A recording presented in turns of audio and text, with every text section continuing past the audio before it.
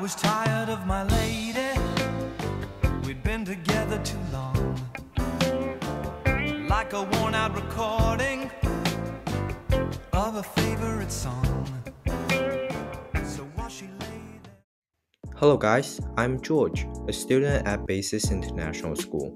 For my four years here, I've gone through many changes and encountered a lot of things. Some of them broke me down and some of them motivated me to do better.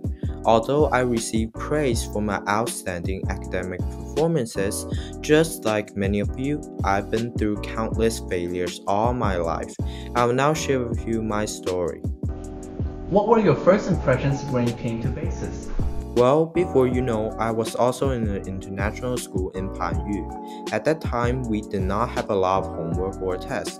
Our stress levels were like hmm, not that high, but it all changed when I came to Basis. I felt the pressure and the stress when coming here, noticing that I'll be learning new knowledge and meeting new friends in this new and strange environment. My parents, they have always informed me that there are many tasks every week, in which I was so terrified by that. How were your learning experiences and what courses were you struggling with? At that time, the workload was just so gigantic. I was so surprised that we have to finish 30 math problems a day. The new knowledge was just so overwhelming.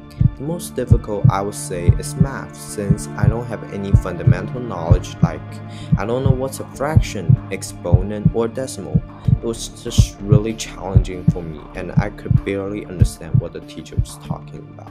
How were your interactions with other students? I was always an introvert, even today. It's just so uncomfortable for me to talk or interact with other people, especially strangers. I want to say that I'm really alone or lonely, but most of the time I ate lunch by myself and I try to avoid public attention and social interaction with other people. It's okay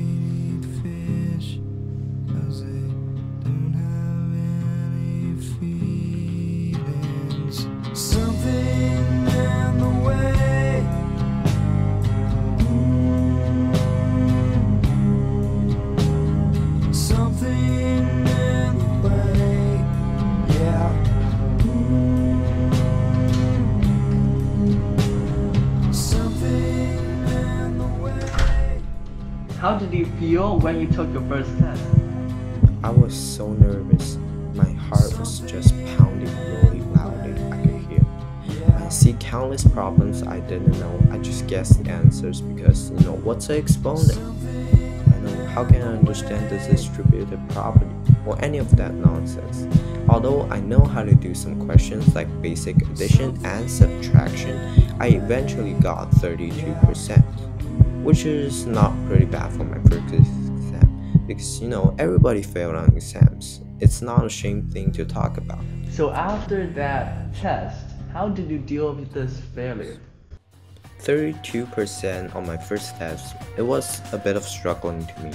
I asked help from other classmates, but some of them gave advices to me such as cheating, which was really against my moral. But you know, at that time there were huge amount of competition between periods.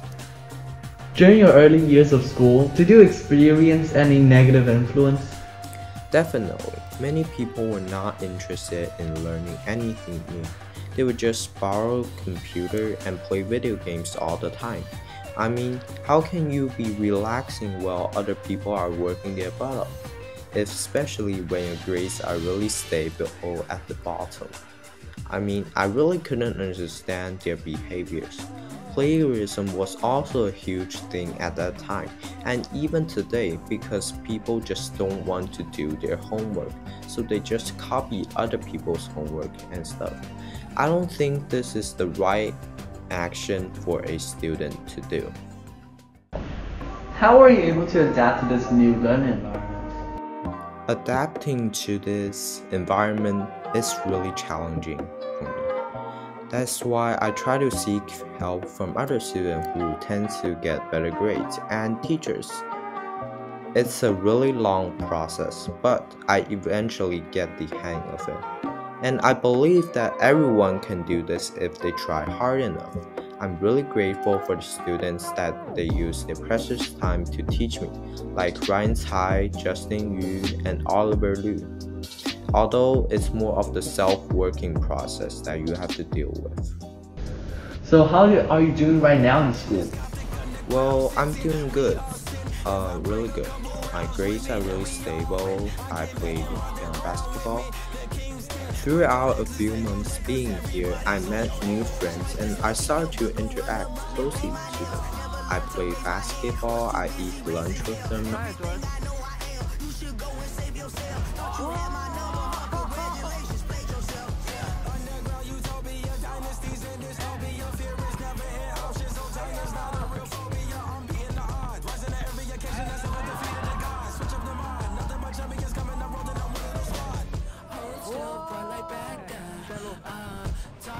Till I snap back.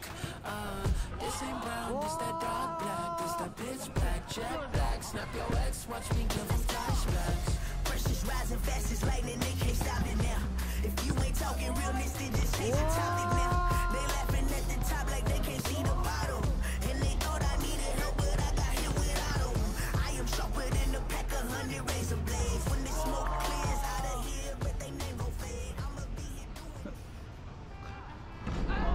What were your first impressions of George when he first came here?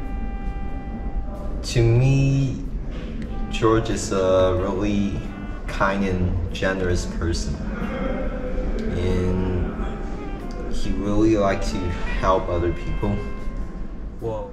Uh, I've known George for a long time and uh, like I think it was seven years or something like that.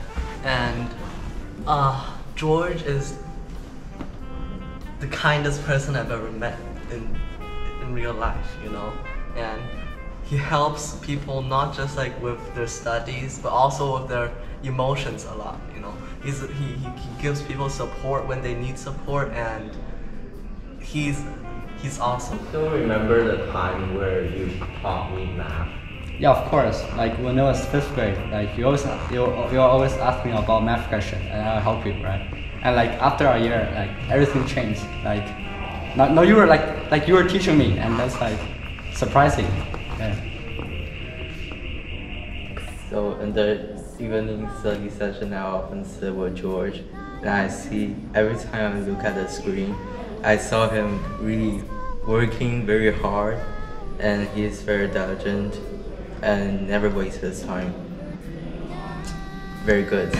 You know, three years ago, George told me that he's gonna dunk three years later. I didn't believe that, but it turns out, after day and day, as George, you know, gains more muscles and after studies more and after, you know, tries better on his skills, George starts to learn more dribbles, shootings, defenses, and now his muscles are good enough, his techniques are good enough. Now he finally, he was able to dunk on me. The person who he always wanted to dunk on because I'm too good.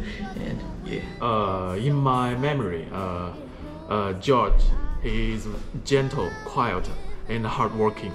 He's polite, responsible, and honest, integrity. Uh, he's very positive and an optimistic boy. Now, due to the AP exam, tensions are really up. So I try to prepare as much as I can and study a lot for it. Throughout the four years being here, I learned a lot, like being independent, time management skills, and new knowledge and social interactions. And I believe that if you work hard for it, then you should get the what you deserve. My advice for people is that you don't have to be distressed for a test. Think of it as a way to test your abilities. If you cheat, that does not reflect what you know or what you don't know, and that will prevent you from getting better. I believe no one has to cheat when um, to get a good grade. If you simply work harder and smarter, trust yourself, you can do it.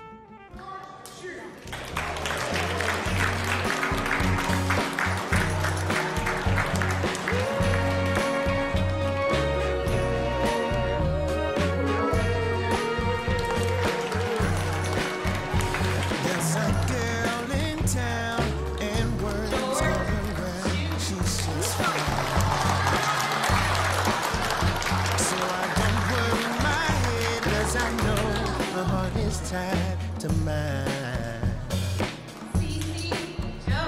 The life that we and the love that I give to her. Each day grows more and more, I'm sure it shows. Where is a bubbling fountain that flows into a sea deeper than any ocean for eternity.